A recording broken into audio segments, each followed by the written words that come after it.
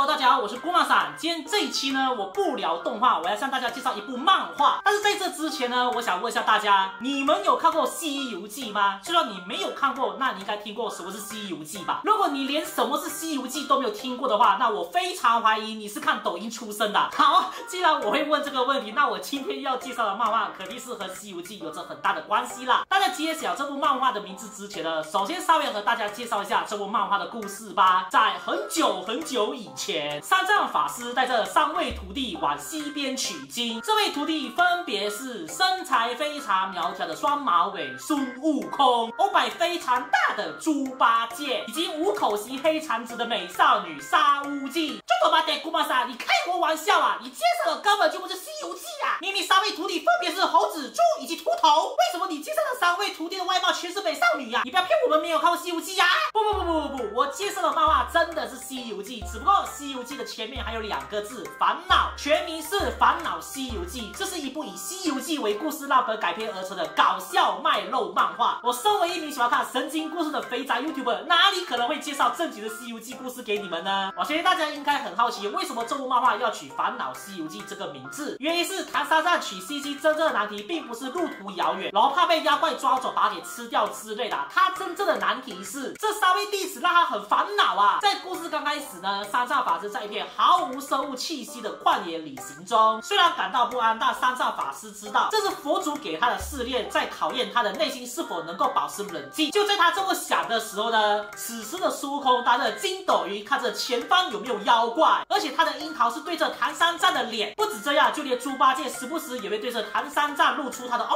巴。而沙悟净的下巴这有穿等于没有穿，一直看见他的樱桃，使得唐三藏一直处于心中杂念的状态。不只是这三位徒弟而已，就连菩萨也是欧巴非常大的妹子啊，大到一个地步呢，我都已经把画面差不多遮一半了，真的太可怕了。而且这位菩萨呢，比起关心唐三藏能不能取西经顺利，他更关心的是让唐三藏产生色色的想法啊。三藏为了可以战胜自己的色心，所以他拜托菩萨做了一件对男人来说非常痛的事情。唐三藏叫菩萨赐予他一个迷你金箍咒，并把迷你金箍咒呢戴在他的小丁丁，只要他头脑一想到色色的画面，那迷你金箍咒呢就会收集弄中他的。哦，等一下，我越讲越觉得。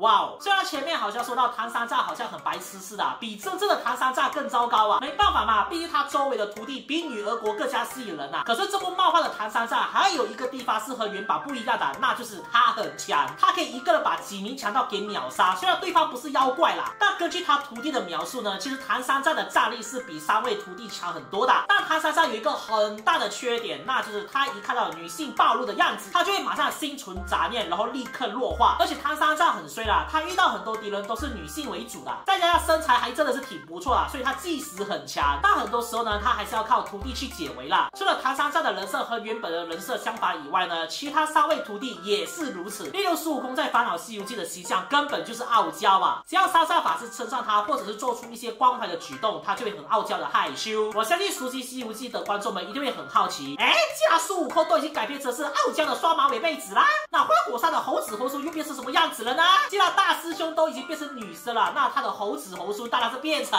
等一下，等一下，最近 YouTube 对应比较敏感啊，我怕我的频道会被咔嚓，所以我还是不要说出那个字比较好啦。好，接下来就是猪八戒，猪八戒就是欧百非常大，既然他的欧百很大呢，那他肯定是这部漫画最多的福利担当。而且不知道是不是我的错觉啊，比起大师兄和三师弟，猪八戒的戏份给我的感觉蛮多的，甚至有一股正宫的感觉啊，再加上性格上还挺婆的。如果这部漫画动画化的话呢，到时一定会有很多网民把猪八戒当成老婆看待的。最后就是三师弟沙悟净，他是我觉得和原版差别非常大的角色，不止从原版的秃头改变成到处录樱桃的黑长直美少女，而且性格还变成五口星的属性啊！哎，虽然我知道比起两位师兄呢，沙悟净的确是比较很少说话的，毕竟人家比较和谐嘛，并没有像两位师兄一直吵来吵去。但是不代表人家就不想说话好吗？虽然是这么说啦，但故事来到沙悟净的个人故事后，沙僧法师只要对他做出一些举动呢，他就会露出害羞不知所措的样子。我相信大家听到这里呢，应该会发现到一件事情，那就是这三位徒弟都。对自己的师傅有好感啊！我靠，我刚开始以为自己是在追搞笑脉络版的《西游记》，原来我是在看后宫恋爱漫画。虽然是这么说啦，但由于本作是基于《西游记》的内容做改编的关系，所以有些故事呢会玩一些原本《西游记》的一些梗。熟悉《西游记》的读者们看到那些梗会觉得很有趣，再加上故事本身偏搞笑，妹子也画的非常可爱啊！所以如果你是一位喜欢看妹子或者很喜欢看恶搞故事的观众的话，那《烦恼西游记》我是相当推荐的哦。最后我也希望《烦恼西游记》能够动画化，虽然我相信如果真的有动画化的话，应该有八十七八线会把养眼的地方给遮掉，就好像我今天的影片一样。但如果是给 D N K 负责改编的话，就不是那一回事咯。到时一定会像恢复术士和不道德公会一样出两个版本的。所以我希望真的可以被我奶中《烦恼西游记》公布动画化制作决定，并且给 D N K 负责改编吧。好，那今天的节目就到这里结束吧，我们下期再见吧，